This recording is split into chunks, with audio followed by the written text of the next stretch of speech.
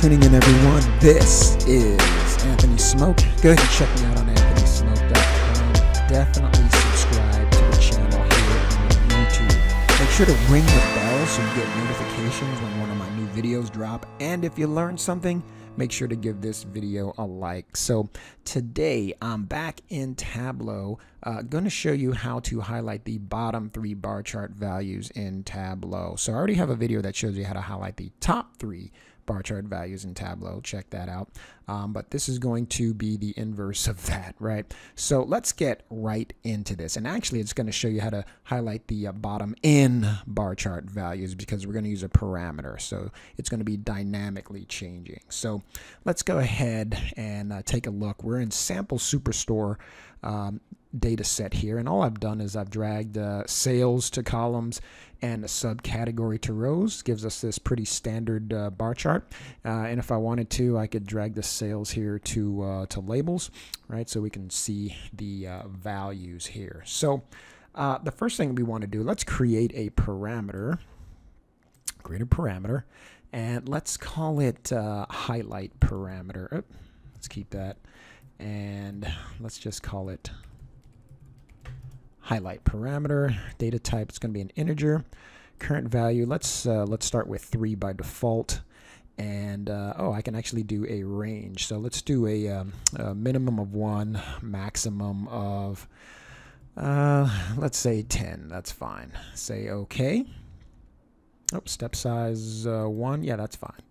Okay. And then let's show the parameter that uh, that I misspelled here. Let's parameter all right say okay now let's uh, let's go ahead right click and we want to show the parameter control great so now we can change the parameter. It doesn't do much right now, but we can change it. So we have a parameter, we have our bar chart. And so there are two different ways uh, you can use to show the bottom three. We can create a set, but it has some limitations. And I'll show you how to how to do that, right? So we can, uh, if I go to my subcategory, I'm going to right click and let's go to create a set.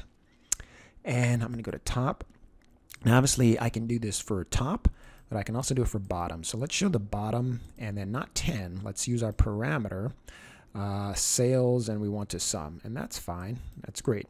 So now I have this set. Actually, let me go ahead and um, give it a name here. Let's call this um, uh, top three, or I'm sorry, bottom, bottom three uh, sales set, something like that. Okay. Say okay.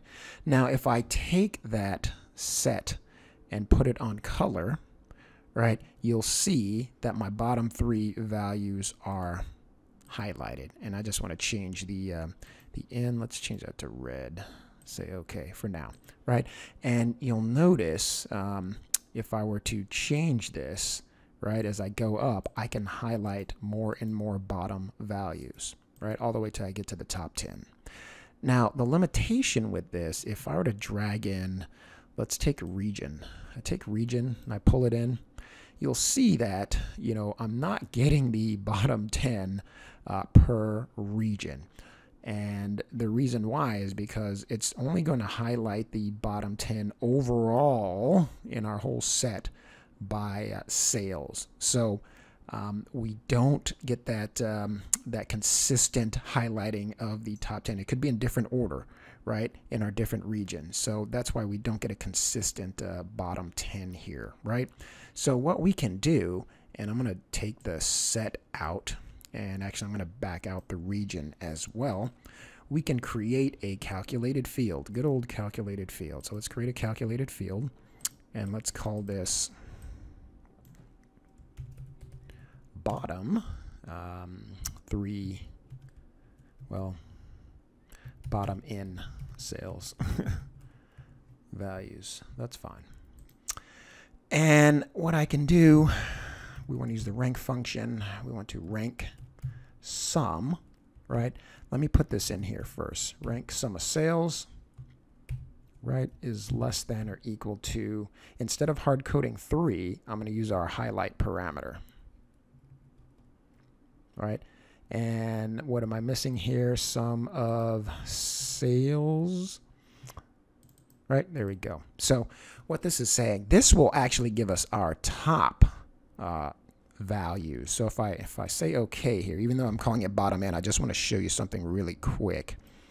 Um, if I take this bottom end sales value and put it on color, you'll see, and you know you'll you'll notice that the the top 10 here, that's right, sorry, the top 10 are highlighted. And if I were to change this, let's put this down to three, you'll see that the top three are highlighted, right? So how do we switch this up um, to, to just show the bottom? And so the trick to that, and let me just change the colors real quick. Um, false, I, well, no, let me cancel that. Let me just show you this first. So to switch that up, let's go to bottom end sales value. So that's how you get the top. Um, I'm going to take zero minus the sales, right? So if you think about it, uh, let's say you have a low sales value, let's say $10, right? That's pretty low. If you go zero minus sales, right, that's negative 10, that's going to be the highest value. So it basically flips our, our values around, right? Our, our lowest values are ranked at the top. So if I say okay, right, oh, you'll see I, my three lowest values are highlighted. And of course, I can change that here. But now, does it pass the uh, extra dimension test, right? And again, I, I want to go in here and change these colors just because I like, um, you know, for true, I want red, and for false, I want gray, right? Highlight.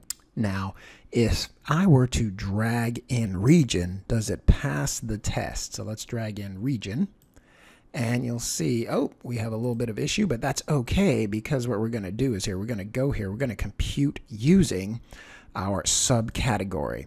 And voila, um, we have our bottom 10 values highlighted and I can back that down right all the way to 3. So the parameter control here uh, dictates uh, what is highlighted in my visual and we're starting from the bottom as Drake would say, right? So Let's take a look at all of the regions here to see if uh, we truly have seven, six, five. Okay, looks like it's working across all of our regions. So this has been Anthony Smoak. Hope you enjoyed this tip. Go ahead and take this tip, get out there and do some great things with your data. Thanks for watching, everyone.